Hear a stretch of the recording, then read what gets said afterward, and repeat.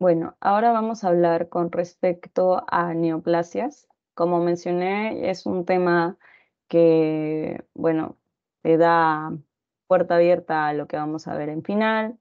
Y en mi humilde opinión, considero que neoplasia, a comparación de los demás temas, es uno de los que, digamos, son más sencillos.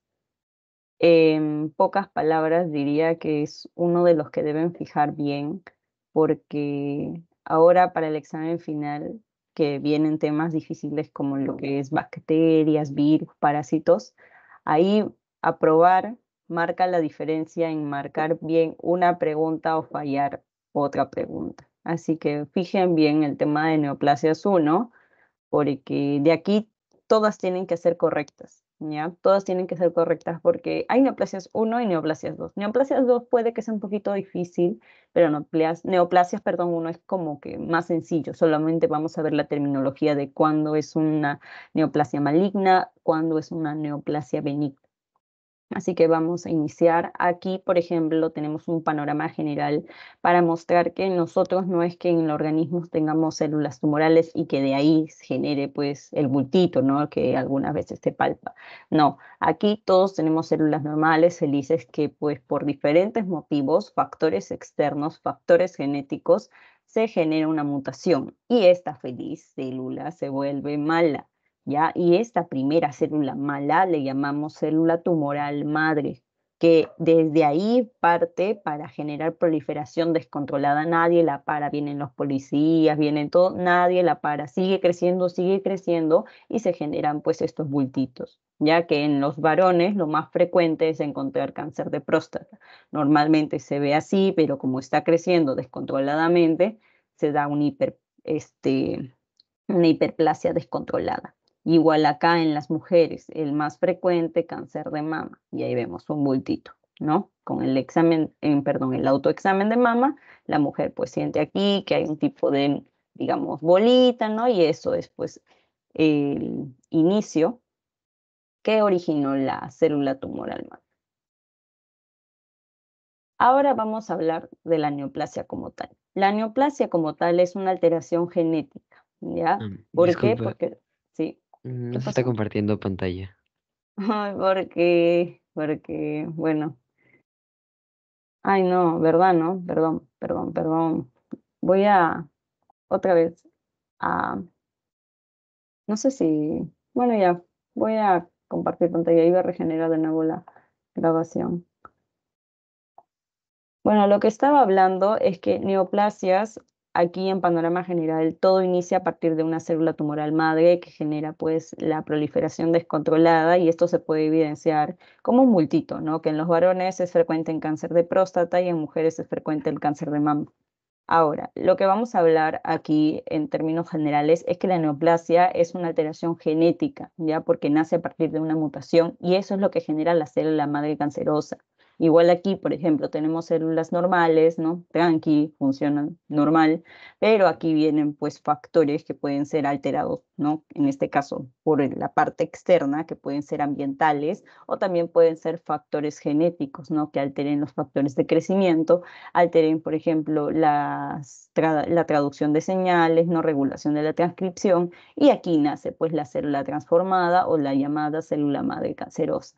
Y a partir de ello se genera la proliferación descontrolada. Acá también tenemos la evolución, por ejemplo, nace la célula tumoral madre, se genera la hiperplasia descontrolada Luego se genera la displasia, que es un término que lo hemos visto en parcial, que es el crecimiento descontrolado, pero recién cuando invade lo que es la membrana basal, ya lo llamamos, perdón, neoplasia, ¿no? Porque esto es una lesión premaligna. En cambio, ya esto es un cáncer como tal. Es maligno, ¿por qué? Porque está invadiendo la membrana basal y además está llegando a lo que son los vasos sanguíneos que se encuentran a nivel del tejido conectivo.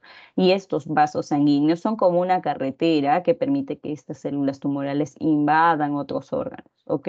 Así que a nivel macroscópico también podríamos decir que la neoplasia, ¿qué es? Es una masa, ¿no? De tejido normal que se está produciendo a partir de un crecimiento en exceso y descontrolado.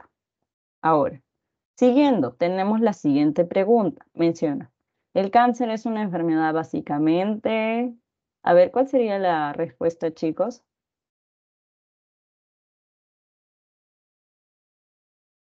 Genética. Genética, muy bien, ¿no? Porque nace a partir de una mutación. Hasta puede ser degenerativa, ¿no? Pero aquí la respuesta netamente es genética. Acá eh, validaron, creo, en ese tiempo la A y la C. Ahora, tenemos la clasificación. Podemos clasificar la neoplasia según conducta biológica, por evaluación patológica y por células o tejido de origen. La primera de conducta biológica es clasificar neoplasia benigna, maligna o intermedia. En el caso de la benigna, acuérdense de una tortuga. ¿Por qué? Porque pues, su crecimiento es lento, no tiene infiltración, no hay metástasis, son bien limitadas, o sea, estas son fáciles de extirpar porque solamente está en un lugar, se saca y listo. En cambio, las malignas tienen un crecimiento rápido, rápido como la liebre. Aquí son infiltrantes, no están encapsuladas y acá tienen opción también de hacer metástasis. Así que aquí no hay opción de extirpar porque todo está diseminado por todos lados. Así que la supervivencia del paciente disminuye. Y en el caso de la intermedia es la combinación de la benigna con la maligna. Aquí, por ejemplo, el crecimiento es variable. Aquí la infiltración sí hay, pero es localmente y ahí es agresiva. Acá, por ejemplo, en el caso de la eh, supervivencia, es depende en qué grado se encuentre la velocidad, ¿no? Porque acá veremos que la velocidad de crecimiento es variable, depende de cada persona, depende de cada situación, pero menciona aquí que la tendencia a la recurrencia local después de la extirpación quirúrgica eh, es más probable. ¿No? O sea, puede que el paciente lleguen a extirparle, pero pues hay probabilidad de que más adelante vuelva a crecer o vuelva a generarse ese crecimiento descontrolado, ¿ya? Luego tenemos la evaluación patológica. En el caso de la evaluación patológica, igual, ¿no? Es aquí ver, por ejemplo, el número de mitosis, el tamaño, el grado de diferenciación, que si no, o sea, si no presenta diferenciación se llama anaplasia, luego también el cambio del ADN, la infiltración e invasión y la metástasis. Por ejemplo, acá vemos algunas características que solamente tienen, tienen perdón, las eh, células neoplásicas. Por ejemplo, en las células neoplásicas voy a ver nucleolos prominentes que no necesariamente deberían verse. Ya se ven ahí varios puntitos que parecen núcleos, pero no, son nucleolos. Ya te pone la palabra nucleolos, piensa que es una célula tumoral. Otro también, aumento del número de mitosis, significa proliferación descontrolada. Otro también, núcleos hipercromáticos, están bien negritos, bien morados. Otro también, pleomorfismo celular. Aquí diferentes células van a estar en diferente tamaño, no están todas simétricas como se ve aquí en el gráfico. Otro punto importante, células multinucleadas, varios hay núcleos. Y otro punto es la alteración núcleo-citoplasma. Si te das cuenta, por ejemplo, esta célula normal, digamos que, ok, está en un tamaño estable, un ratito.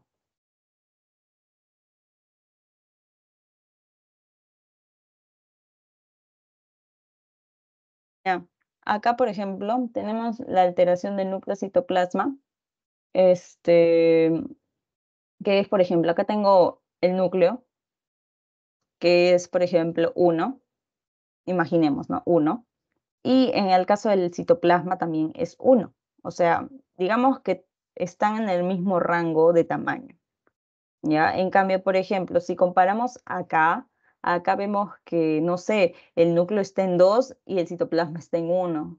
O sea, aquí el tamaño no, esté, no está acorde con los bordes del citoplasma. ¿no? Y cada pues, célula también tiene distinto tamaño, diferente diámetro. En cambio, aquí todos son iguales. Ya por eso hay una alteración del núcleo citoplasma. Otro punto, otro punto importante, acá también podemos verlo comparar la célula normal con la célula mutada o maligna. Acá, por ejemplo, tenemos núcleo en diferentes zonas. Acá, por ejemplo, normal estaban todas en la basal, el núcleo, núcleo, núcleo. Acá está uno por arriba, uno por abajo, uno por el costado, ¿ya? Otro también es el tema del pleomorfismo. Veremos que el núcleo tiene diferentes formas a comparación de una célula normal. Otro es que no hay una simetría en lo que es el diámetro núcleo-citoplasma, como hemos dicho arriba. Otro punto importante, núcleo en diferentes tamaños. No solamente está en diferentes formas el núcleo, sino también en diferentes tamaños. Otro punto importante es que hay un núcleo hipercromático, está muy como que azul morado, así como vimos arribita. Otro punto importante es que hay presencia de nucleolo, ya como vimos también arribita. Otro es que hay una proliferación en exceso de lo que es eh, la mitosis. No es una mitosis normal, es una mitosis anormal. Otro punto importante, células gigantes, ¿no? Acá dice células multinucleadas, células gigantes, ¿ya? Esto también está relacionado a partir de que haya exceso de cromatina, porque pues va a necesitar más cromatina para dividirse. Otro punto es que en las células tumorales voy a encontrar mucina incrementada y voy a encontrar también ADN en exceso, ya para la división. Lo que preguntan es este punto, ¿no? De la célula o tejido de origen, que es una clasificación para las neoplasias, ¿ya? Acá vamos a acordarnos el término de célula totipotencial, la célula pluripotencial, las células diferenciadas. Las células totipotenciales son las que nacen a partir pues, de la formación del cigoto, ¿no? la mórula, los blastocitos. Luego se van diferenciando y vuelven células pluripotenciales. Aquí estamos viendo células relacionadas a lo que es, por ejemplo, la línea del endodermo, del mesodermo y el ectodermo. Y cuando hablamos de las células ya totalmente diferenciadas, ya hablamos que siguen un patrón específico, ¿no? Acá están las células del sistema respiratorio, las células del sistema circulatorio y las células del sistema nervioso, ¿ya? Ay, ay, ay, se me fue. Mm, mm, mm, ya. Un ratito, a ver, eh, qué raro, ¿por qué no está cargando?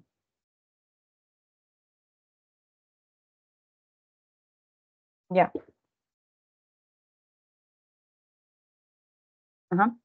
Ya. En el caso de la célula o tejido de origen, vamos a ver igual, ¿no? Cómo se denomina cuando están alteradas las células totipotenciales, las células pluripotenciales y las células diferenciadas. En el tema de neoplasia.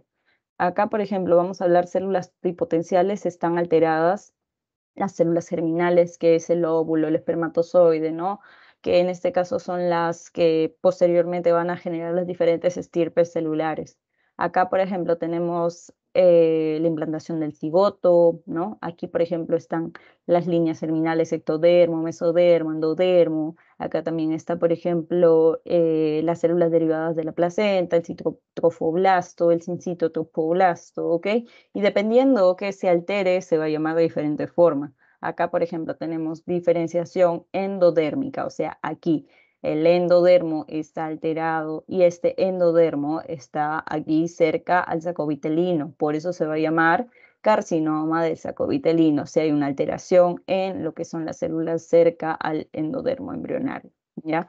Otro punto importante, diferenciación trofoblástica, o sea, está relacionado aquí, ¿no? A los derivados de la placenta. Y en embriología, si no me equivoco, la placenta en un punto de su cambio se le denominaba corion. Por eso aquí, diferenciación trofoblástica se le llama neoplasia coriocarcinoma, ¿ya? O bueno, perdón, eh, neoplasia coriocarcinoma no, sino coriocarcinoma nada más, ¿ok? Luego, otro punto, diferenciación somática. ¿Qué es una diferenciación somática cuando hay alteración en las tres capas germinales? Es bien raro, ¿no? Porque si son tres capas germinales, acá el teratoma suena como cuatro, pero no, es, son tres, ¿ya? Ectodermo, mesodermo y endodermo generan, bueno, su alteración, un teratoma. Luego tenemos diferenciación ectodérmica. En el caso de la diferenciación ectodérmica, vamos a denominarle carcinoma embrionario. Y ahora otro punto importante que siempre toman hasta en patología 2 es que si hay una alteración en lo que son netamente las células germinales, como es pues en el caso de varones y mujeres, en el caso de un varón, eh, la neoplasia más frecuente es el seminoma, así se llama, seminoma. Y en el caso de las mujeres se llama disgerminoma. Ya acuérdense eso, cuál pertenece a varón, cuál pertenece a mujer. Ahora, vamos con las células pluripotenciales, que son un poquito más diferenciadas. Acá lo van a, van a atacar las células embrionarias o embriomas o blastomas. ¿ya? Aquí lo vas a sacar rápido, que es una alteración de las células pluripotenciales, porque todo, en este caso, el término de la neoplasia va a estar con blastoma, blastoma, blastoma, blastoma. ¿Ya? Así que ahí sacas, ok, esta es una alteración de célula pluripotencial. Solamente, por ejemplo, si es una alteración de riñón, nefroblastoma. Si es alteración de la retina, retinoblastoma. Si es una alteración de la glándula pineal, pineoblastoma. Si es una alteración de lo que es el hígado, hepatoblastoma. Si es una alteración de los tejidos blandos, como es la musculatura, rhabdomiosarcoma. Bueno, hay unas excepciones, ¿no? Donde no siguen la terminología blastoma. Y acá también hay una excepción importante, que es la suprarrenal y el cerebelo. En el caso de la suprarrenal no se va a llamar suprarrenal blastoma, sino se llama neuroblastoma. Ya, y en el caso del cerebelo tampoco se llama cerebroblastoma, se llama meduloblastoma, ya, pero todo lo sacas con el término blastoma, blastoma, blastoma. Ahora, del que más juegan también es el tema de las células diferenciadas. Aquí vas a sacar rápido que es una neoplasia de este nivel cuando te pongan la terminología oma, sarcoma o oma carcinoma. ¿ya? Aquí, por ejemplo, si hablamos de tejido mesenquimal, o sea, tejido conjuntivo, vasos sanguíneos, vasos linfáticos, meninges, células hematopoyéticas, tejido linfoide, si es benigno le pones oma, si es maligno le pones sarcoma. ¿Ya? Por ejemplo, si hablamos de lo que es tejido óseo, aquí le vamos a llamar osteoma, ¿ya? Si es benigno. Si es maligno, le pongo osteosarcoma, ¿ya? Luego también, si hablamos de tejido articular, ¿no? De los que están en la articulación, hablamos condroma si es benigno, condrosarcoma si es maligno, ¿ya? Igual lipoma, liposarcoma, oma, sarcoma, oma, sarcoma, para tejido mesenquimal. Igual acá, por ejemplo, si hay una alteración en los vasos linfáticos, linfagioma. Si es maligno, linfagiosarcoma. Igual, si es una alteración en las meninges, meningioma. Bueno, hay excepciones, ya donde no se le pone sarcoma, si no tiene su nombre propio. Meningioma invasivo. Ya, acá también, por ejemplo, otra excepción células hematopoyéticas, no existe un término como tal para decirle OMA, sino de frente, si hay una alteración en esto, se le llama leucemia y no se le pone sarcoma, tampoco tiene nombre propio. Igual acá tejido linfoide, ojo, no es lo mismo, vasos linfáticos se llaman así, tejido linfoide es otra cosa. Ahí tampoco no se le pone OMA y tiene su nombre propio que es los linfomas, ¿ok?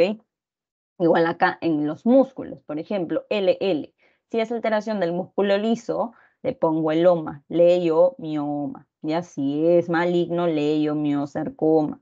Si es alteración del músculo estriado, rhabdomioma. Si es maligno, rhabdomiosarcoma. ¿Ya? Ahora, acuérdense, ¿ah? tejido mesenquimal o sarcoma. ¿Por qué? Porque cuando hablamos del tejido epitelial, acá, ok, repite oma benigno, pero cuando es maligno se le pone el término carcinoma adelante. ¿ya? Por ejemplo, acá tenemos eh, un tumor ¿no? que está relacionado al epitelio estratificado espinocelular, se le pone papiloma, papiloma, oma.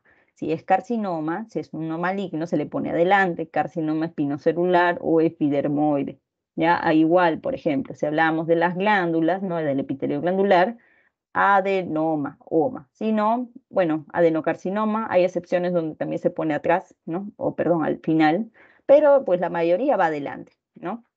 Adenoma bronquial, OMA, si es maligno, carcinoma, no broncogénico, carcinoma de células renales, carcinoma hepatocelular, carcinoma uroterial y así sucesivamente. ¿no? Hay también excepciones donde el nombre cambia totalmente, por ejemplo, en el epitelio placentario veo, por ejemplo, mola y datiforme. Acá en ningún momento he escuchado o he visto, perdón, el tema de OMA.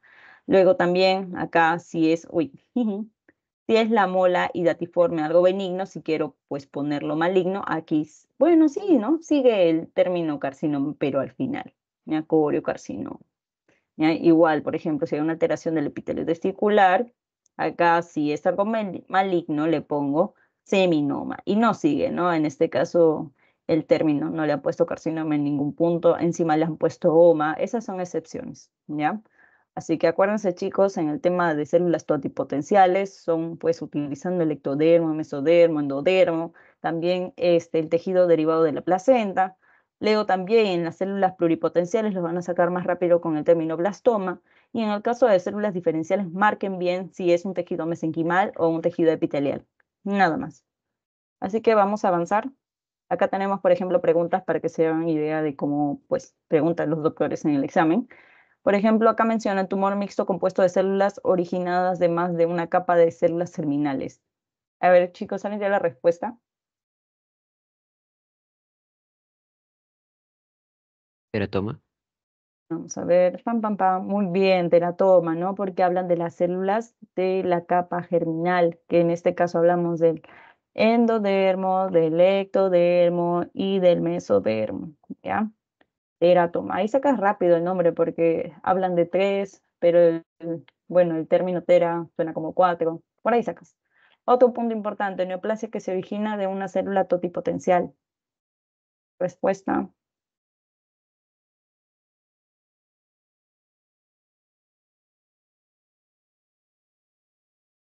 Totipotencial. Carcinoma embrionario.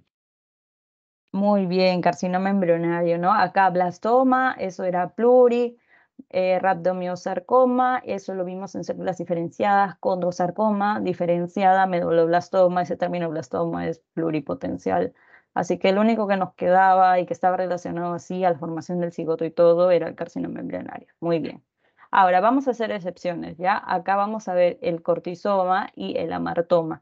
En el caso del cortisoma vamos a ver que es un tejido ectópico, ¿no? O sea, vamos a encontrar, por ejemplo, estamos viendo el tejido del estómago, pero vemos también tejido pancreático, ¿ya? También llamado el cortisoma, que es en este caso una neoplasia heterotópica, ¿no? Donde encontramos un tejido que no pertenece en, pues, otro lugar.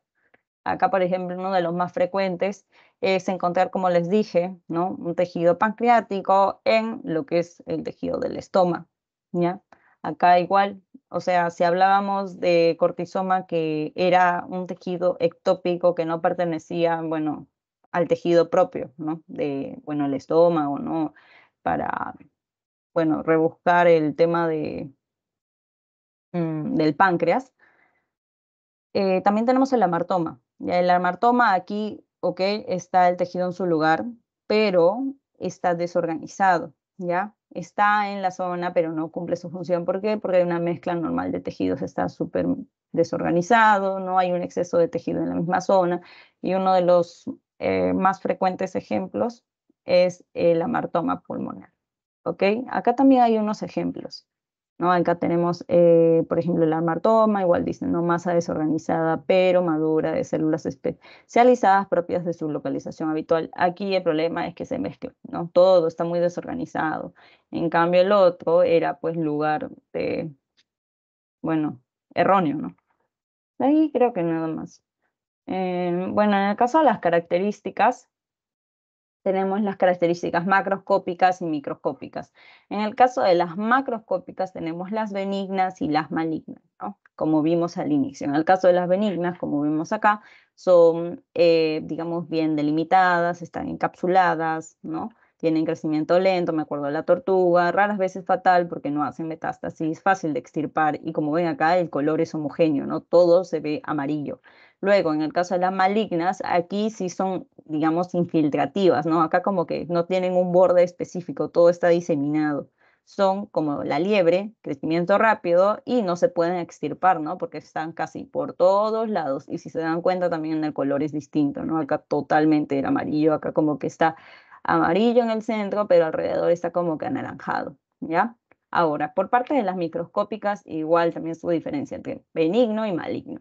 La primera es la diferenciación. Normalmente en las benignas son bien diferenciadas. O sea, por ejemplo, si la célula madre, digamos, eh, tenía gorrito, así para que se den idea, todas sus hijas van a tener gorrito. O sea, todas son iguales. En cambio, las malignas no tienen buena diferenciación, por eso son llamadas anaplásicas. O sea, la mamá ha tenido gorrito, pero las demás hijas tienen sombrero, tienen este, otra cosa, o tienen gorros de diferentes modelos, ¿ok?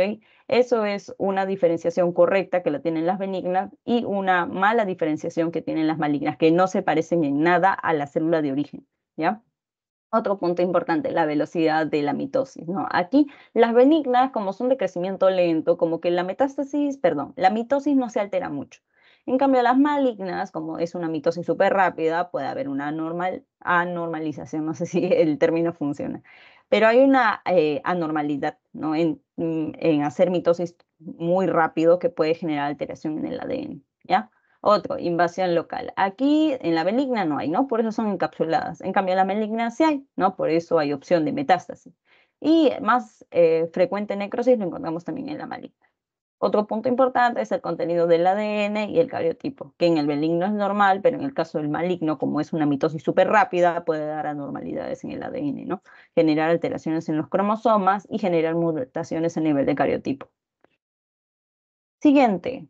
Ahora vamos a hablar de uno, dos, tres puntitos importantes, ¿ya? El primero era la diferenciación y anaplasia, que es lo mismo del PPT anterior. La diferenciación es que se parecen a la célula madre tumoral, ¿no? No hay cambios, ya se parece todo igual, todo igual. En cambio, la anaplasia, ya aquí hay una pérdida de la diferenciación, no se parecen y eso es característica de la neoplasia maligna. ¿Ok? Y en el caso de ver el término de displasia, ustedes saben que es un crecimiento desorganizado, premaligno, ¿por qué? Porque no invade la membrana basal. Listo. Ahora, el otro punto, con o sin invasión local. Aquí, si no tiene invasión local, posiblemente es delimitado, no invade la membrana basal y posiblemente sea benigno. En cambio, si hay invasión local, o sea, si son infiltrativos, pasan la membrana basal y posiblemente son pues malignos. Ahora, el punto importante que preguntan siempre, metástasis, ¿no? Acá para que haya metástasis hay diferentes pasos. Tienen que recordar que todo inicia a través de la transformación, o sea, la célula madre tumoral existe. Esta célula madre tumoral crece, crece, crece, invade la membrana basal, que en este caso es componente de la matriz extracelular. Esto genera lo que es una intravasación, o sea, como dijimos, estos vasos sanguíneos que están pues debajo de la membrana basal sirven como un caminito, un desvío para llegar a otro órgano e invadirlo. Así que el primer paso es que esta célula madre tumoral pase dentro de los vasos sanguíneos y ahí se mueva. El otro paso es motilidad e invasión. Se mueve, se mueve, se mueve y obviamente sabemos que en el torrente sanguíneo existe pues el sistema de defensa. Así que aquí, por ejemplo, va a intervenir lo que son las plaquetas, ¿no? Las plaquetas van a tratar de generar un llamado de alerta para que pues traten de pues las demás células eliminar estas células tumorales. Pero digamos que estas células tumorales saben lo que va a pasar y se esconden, ¿ya? Así que van avanzando, van avanzando, van avanzando y llegan a un órgano diana. Llegan al órgano diana, se adhieren a lo que son los vasos, ¿ya? Y se da la extravasación porque no van a hacer su nidito en los vasos, quieren hacerlo en el parénquima, así que tienen que extravasarse. Se extravasan y llegan a formar un nido nuevo. Y acá tienen que hacer una neoangiogénesis porque ustedes saben que también como una célula normal, las células tumorales necesitan nutrirse para seguir creciendo. Así que hacen su nuevo nidito y se generó ya metástasis, o sea, ya una invasión en un órgano ajeno. ¿Ya? Y bueno, la metástasis, cuando van creciendo, creciendo, creciendo, tiene una característica de ser heterogénea. O sea, ok, puede que pues esta célula tumoral ha invadido pues parénquima, tiene la capacidad de hacer metástasis, pero cuando va creciendo, va creciendo, las demás células tumorales capaz no tengan la opción de metástasis, capaz otras tienen opción de generar más angiogénesis, otras tienen capacidad de hacer otra cosa y al final se va formando diferentes subgrupos, ¿ya? O sea, cada célula tumoral tiene diferentes capacidades y eso es heterogeneidad, ¿ya? Así que vamos a avanzar. Igual también este cuadrito es interesante. Menciona invasión local, luego hay una intravasación, luego hay una circulación y detención con las plaquetas y todo lo que hemos visto. Luego pasan todo esto, ¿no? No lo detiene nada y llegan a la extravasación, ¿no? Que en este caso estamos hablando de los vasos de pues este nuevo órgano diana que está saliendo afectado y llegan a ser su microtumor, ¿no? O sea, un nuevo nidito en otro lado. Así que tenemos la siguiente pregunta. Menciona, uno de los siguientes enunciados no corresponde a los pasos secuenciales de la metástasis. Ah, ¿Alguien tiene la respuesta?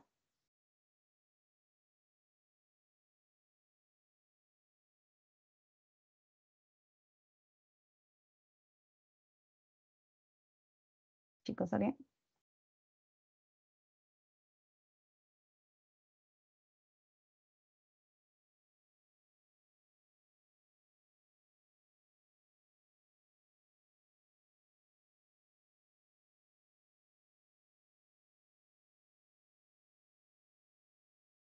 Ya, voy a esperar cinco segundos.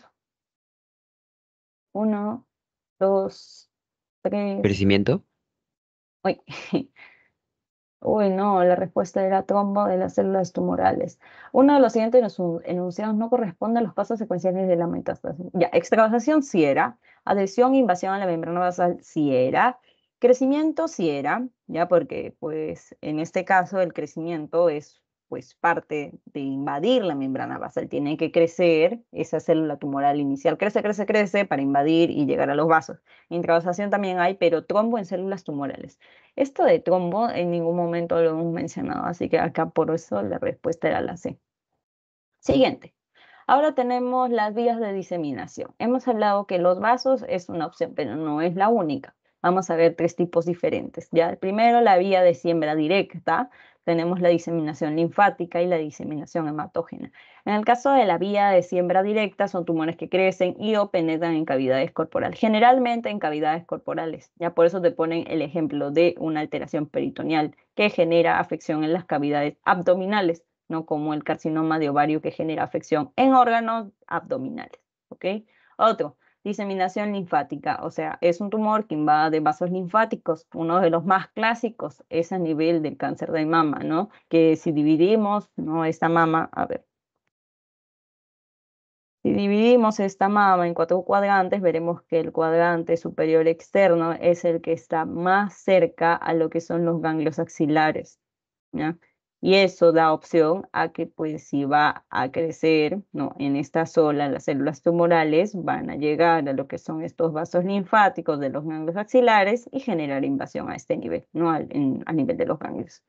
Otro, diseminación hematógena, es lo que hemos visto, ¿no? El más frecuente. Tumor invade vasos, también puede invadir bueno, no solo arterias, sino también venas, y esto es un poquito más riesgoso, ¿no? Porque llega a la circulación sistémica y puede llegar a cualquier órgano, puede llegar al hígado, puede llegar al pulmón, al cerebro, a los huesos y hasta el riñón. Ahora vamos a hablar de la epidemiología. ¿ya? Vamos a ver también que la incidencia de cáncer depende mucho de la edad, de la raza, de los factores geográficos y de las características genéticas. En el caso de hablar de los factores geográficos, por ejemplo, en Japón tienen más predisposición a cáncer de estómago, en África tienen más predisposición a la hepatitis. Igual, en el caso ocupacional, las personas que, por ejemplo, están expuestas a lo que son minerales tienen más probabilidad que tengan cáncer pulmonar. Acá también, por ejemplo, trabajadores en pintura, más probabilidad de cáncer de vejiga. Igual acá, lo que mencioné hace un ratito. Mineros, cáncer de pulmón. Y acá también hay un cuadrito que pueden verlo ustedes, que menciona, por ejemplo, exposición del benceno, leucemia. Me da, por ejemplo, a ver otro, exposición al arsénico, pulmón, frecuentemente pulmón. Otro punto importante, el cadmio me da, por ejemplo, probabilidad de cáncer de próstata. Berilio, pulmón. Eh, el cromo, pulmón, el níquel, fosas nasales, el óxido de etileno, leucemia. El leucemia, acuérdense más que todo el tema de benceno, ya que puede venir. Siempre se repite hasta en pato 2. Otro punto importante, la mayoría de cáncer son de aparición esporádica, pero algunos muestran una agrupación familiar. O sea, un punto importante. Aquí vamos a tener en cuenta que el cáncer puede tener eh, opción de salir así nada más. No necesariamente tienes que tener, digamos, familiares que hayan tenido cáncer para que tú pues tengas cáncer. Puede que, pues como mencionan aquí, los cánceres aparezcan así nada más, ¿ya? Así que ojo con eso. Y pocos tienen pues agrupación familiar, o sea que vienen pues por familia. Otro punto importante, la predisposición de los cánceres hereditarios puede ocurrir a causa de una herencia autosómica dominante o recesiva, ¿ya? Otro punto importante menciona que cánceres familiares tienden a ser bilaterales y aparecen en una edad más temprana que los esporádicos. O sea, aquí, por ejemplo, si es un cáncer eh, con característica familiar, puede que perdón, puede que salga en niños no recién nacidos, así en cambio, una esporádica puede salir ya en adulto, en adolescente, ¿ya? Y de ahí creo que nada más. Acá estas son estadísticas donde menciona que los varones tienen más probabilidad de sufrir cáncer de próstata, cáncer de estómago y cáncer de pulmón. Y en el caso de las mujeres, a la cabeza, el cáncer de cuello uterino y luego el cáncer de mama y también el estómago. ¿Ya? Y acá también, por ejemplo, vamos a ver, como mencionaron aquí, la predisposición de cánceres hereditarios, ¿no? con un riesgo del 26 a 42%. Tenemos aquí el gen retinoblastoma, me da como tal, ¿no? El retinoblastoma. Luego también alteración del TP53 me da síndrome de Lee-Fraumeni. Luego el APC me da cáncer de colon. Otro también me da eh, el MEN, el red me da alteración del síndrome de Leach, Luego también, a ver, el, F, el NF1 y el NF2 me da el neurofibromatosis, la, una alteración neurofibromatosis que lo vamos a ver después, que esto se caracteriza porque el paciente tiene manchas café, café y leche, si no me equivoco, son manchitas en el cuerpo que también, bueno, algunos sufren alteración ocular, otros también tienen alteración a nivel del nervio eh, auditivo. Eso lo vamos a ver después. Uy, no sé por qué pasa esto. A ver, vamos a avanzar. Y ahora tenemos la siguiente pregunta. Menciona paciente varón que presenta mutación del broca. Bueno, acá creo que no lo dije. Broca, ahí está. Sí, me olvidé decirles, chicos. Acá, por ejemplo, siempre cuando tengan el BRCA1 y el BRCA2, siempre piensan en mama y ovario. Alteración de mama y ovario. Sea hombre, mujer, tienen alteración BRCA1, BRCA2. Bueno, en el caso de, varones, ¿no? Puede que tenga alteración de mama. Pero en general, estos dos se relacionan a mama y ovario. Alteración de los dos. Bueno, de ahí creo que nada más. Era para resaltar eso. Acá, por ejemplo, menciona varón que presenta mutación en BRCA1 tiene un riesgo elevado a padecer una de las siguientes patologías. ¿Cuál sería la respuesta? Cáncer de mama masculino. Cáncer de mama masculino, muy bien. A pesar de ser varón, tiene esta alteración y este broca siempre está relacionada a mama o ovario. Y ovario, ¿no? Pero el varón no va a tener ovario, así que pues la respuesta sería la B. Muy bien. Siguiente, ahora vamos a hablar de las enfermedades adquiridas con lesión preneoplásica, o sea, alteraciones preneoplásicas a la larga van a generar cáncer. ¿ya? Y acá vemos, por ejemplo, diferentes lesiones que han nacido a partir posiblemente de adaptaciones celulares. Primero era la hiperplasia, ¿no? Que, o sea, conocemos la hiperplasia que es un aumento del número de las células, normal, chévere, pero ¿qué pasa si estas se descontrola, me genera pues un cáncer como tal, ¿no? Y acá tenemos ejemplos con el endometrio, el mama y el hígado, ¿no? Ahí tienen sus diferentes términos, cuando, bueno, ya se vuelven cáncer. Ahora también tenemos el término displasia, que también es una adaptación, que como tal la displasia no es una neoplasia porque aún no invade membrana basal, pero cuando recién invade ya me genera un cáncer. Esto puede pasar en cervix, en piel, en vejiga, en bronquio, ¿ya?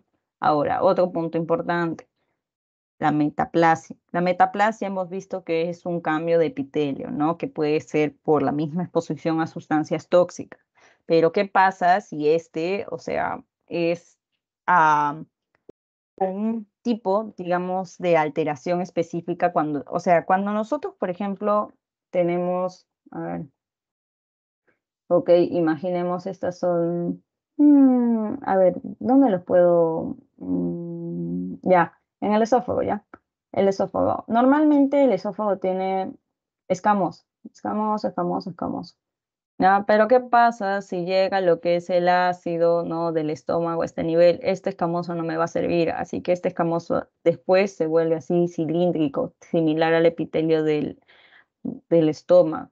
Esto, o sea, aquí este punto de acá, ¿no? que, que está generando el cambio, es probabilidad total de cáncer. Ya siempre en esa zona de transición donde hay cambio, hay opción de cáncer.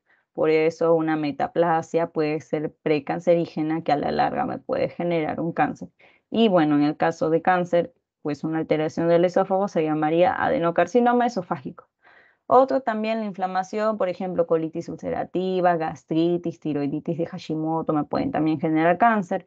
Neoplasia benigna, o sea, de la, de la benigna también me pueden generar a la larga una maligna. Ahí está el adenoma, o sea, saben, ¿no? Oma, benigno, ¿no? Cuando es cáncer de colon, ya pues como tal es algo maligno. Igual, neurofibroma, oma, benigno. Pero después se vuelve en shawanoma, maligno. Y bueno, más que todo era eso, resaltar esa idea. Ahora, en el caso de la biología del crecimiento tumoral, vamos a ver que todo inicia a partir del neoplasma, ya que es el crecimiento nuevo tisular de carácter normal, incontrolado y progresivo, que después me evoluciona a neoplasia. ¿Cuál es la génesis? Mencionan que este crecimiento tumoral nace a partir de factores genéticos y factores epigenéticos. ¿ok? En el caso de factores genéticos, vamos a ver que está relacionado a mutaciones puntuales de lesiones, inversiones, duplicaciones, amplificaciones. ¿ok? Ahora, En el caso de las epigenéticas, a comparación de las genéticas, no a nivel molecular, vamos a ver que en las genéticas hay alteración de las bases, ya de las bases nitrogenadas. En cambio, en las epigenéticas hay metilación genética, hay varias cositas, pero las bases nitrogenadas están normales aquí. Aquí están desorganizadas, acá no. Igual acá, por ejemplo, recalcan el tema de la genética, recalcan el tema de los cambios epigenéticos, Acá más que todo en la genética mencionan las alteraciones a nivel de los cromosomas y en el caso de los cambios epigenéticos mencionan que son cambios reversibles, se producen sin mutación en la secuencia del ADN porque las bases nitrogenadas se mantienen normales y acá lo que vas a, digamos, resaltar de la parte de epigenética es que hay metilación y también producción de histonas, ¿ok? Y, esta este, epigenética me va a inducir a un silenciamiento o hiperexpresión de una parte de los genes. Más que todo, acuérdate de este punto, no de las bases hidrogenadas que se mantienen normal, porque ahí vas a marcar la diferencia con las genéticas. Siguiente. Ahora vamos a hablar del proceso de progresión tumoral. ¿ya? Acá, por ejemplo, primer lugar, la angiogénesis. Como les dije, o sea, estas son igual, casi similar característica de una célula normal. Necesita irrigación, necesita que le den oxígeno, nutrientes para seguir con vida. Así que, pues, cuando invada otro órgano, ¿no? A partir de lo que es la metástasis, ¿no? Y llegue, no sé, como hemos visto en el anterior PPT, a un lugar nuevo como es el pulmón, necesitan generar, digamos, sustancias para que crezcan nuevos vasos y le permitan irrigarse. Ya acá, como mencionan aquí, la angiogénesis sirve para que sobrevivan las células tumorales, ya para que se nutran, para que reciban oxígeno y todo lo demás.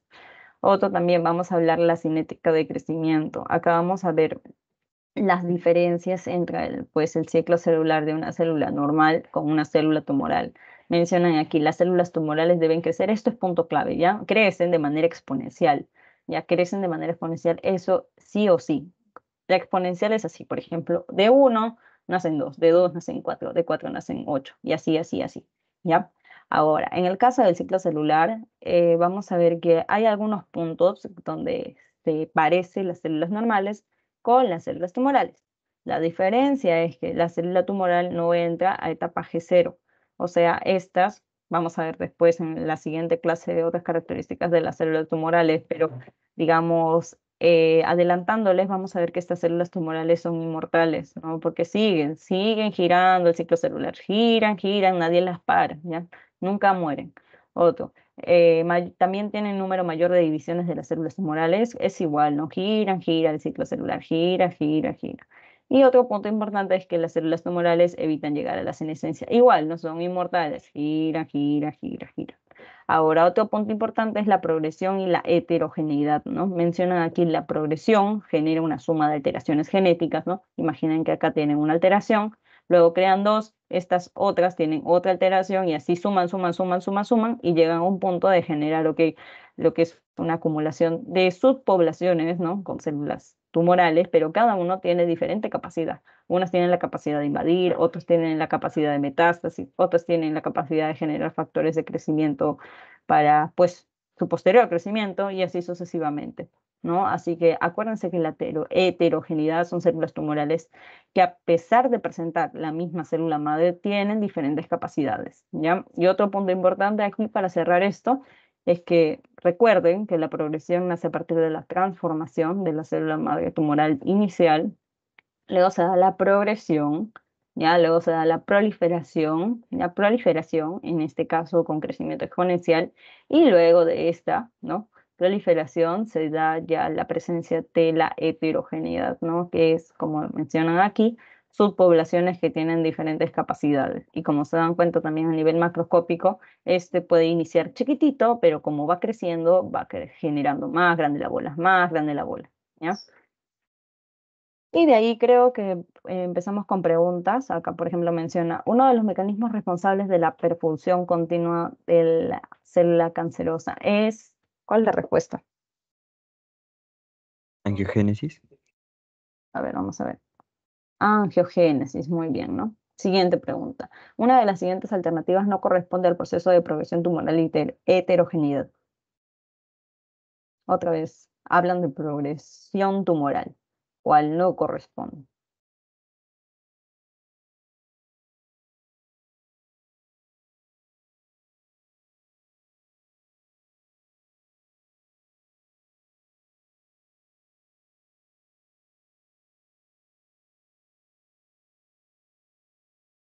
Diferenciación. Vamos a ver.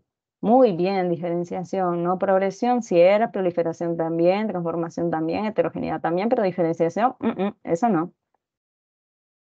Ahora vamos a hablar de las células madres cancerosas. ¿ya? Acá vamos a hablar un poco de las células iniciadoras del cáncer.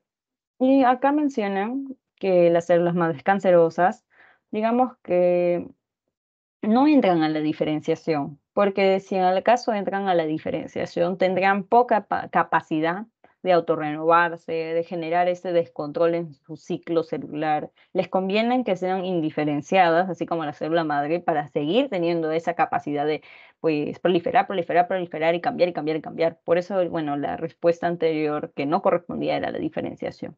¿No? Acá mencionan, por ejemplo, que son células con capacidad de autorrenovación y diferenciación de forma indefinida. Esas son las células madres cancerosas, ¿ya? Y acá igual menciona algunas características, acumulación de mutaciones a lo largo de su vida, proliferación indefinida, resistencia a la apoptosis, activación de las telomerasas para nunca morir y así sucesivamente. Acá igual mencionan, por ejemplo, que es la célula madre en los tejidos que va a permitir la autorrenovación, ¿no? Estamos hablando de la célula madre cancerosa, ¿no? Acá menciona que elevar la resistencia intrínseca a los tratamientos convencionales debido a la baja velocidad de división celular y a la expresión de factor MDR1. Así como tal, vino este, en el examen características de la célula madre cancerosa. Así que acuérdense esto, porque como tal estaba en la teoría y como tal también preguntaron en un examen. Y acá también en el tema de la heterogeneidad mencionan similar al gráfico anterior. Menciona que esto nace a partir digamos, de la acumulación de diferentes mutaciones ¿no? en el crecimiento exponencial a partir de una célula madre tumoral. Aquí, por ejemplo, hay un pequeño cambio, ¿no? una lesión pequeña, luego van acumulando más mutaciones, se da un, digamos, crecimiento, ¿no? En este caso del adenoma, va invadiendo ya membrana basal, se genera lo que es la angiogénesis, ¿no? Y acá ya se da pues el adenocarcinoma, ya es maligno como tal, ¿no? Pero acá, con este crecimiento, veremos diferentes células, digamos, neoplásicas con diferentes capacidades, ¿ya? Igual aquí, pasa, pasa, pasa, se acumulan mutaciones, se genera lo que es la angiogénesis, la metástasis y bueno, en ese caso con la metástasis ya veremos también la heterogeneidad. Y tarán, eso ah, creo que sería todo, pero igual tenemos la siguiente pregunta. Mencionan, en caso de cáncer de cuello uterino, ¿cuál de los siguientes lugares mencionados sería el lugar menos probable de metástasis? En caso de cáncer, ¿cuál de los siguientes lugares mencionados sería el menos? Ya, ese sí creo que fue mi, mi ciclo. A ver, chicos. El menos probable de metástasis.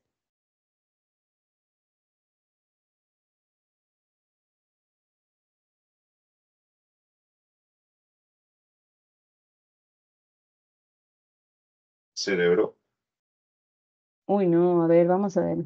La respuesta era endometrio, chicos, porque si hablo de metástasis y me está hablando de un cáncer de cuello uterino, no va a quedarse en el mismo lugar. O sea, tiene que ir más lejos. Podría ser hígado, pulmón, cerebro, varios lugares, pero el endometrio no, porque o sea, está muy cerca. Y la metástasis es a distancia. Así que muy bien. y bueno, eso sería todo, chicos. Eh, muchas gracias. Más bien, antes de eso, eh, no, se, no, no se vayan, por favor, porque voy a pasarles el postes. Liz, a ver, un ratito. Mm. ¿Dónde está? Siempre tengo ahí abiertas varias cosas y se me pasan. A ver, acá creo que está.